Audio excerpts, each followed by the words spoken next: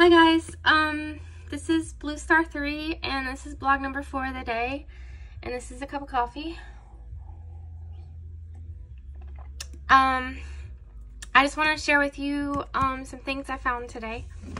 First, um, I already found this, but it's a book by Dr. Phil.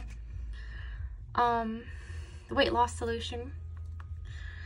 The next thing I found today was Madea Tyler Perry's Diary of a Mad, Mad, Mad Woman.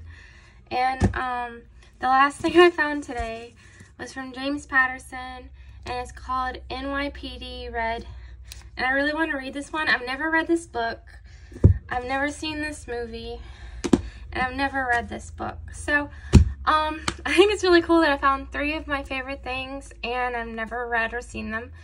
I also got to post three videos today of my, my doggies and my family doggies, um, Diesel, Wicket, and Danny Boy.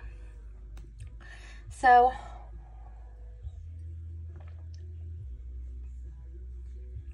I just want to, um, I want to say thank you, YouTube.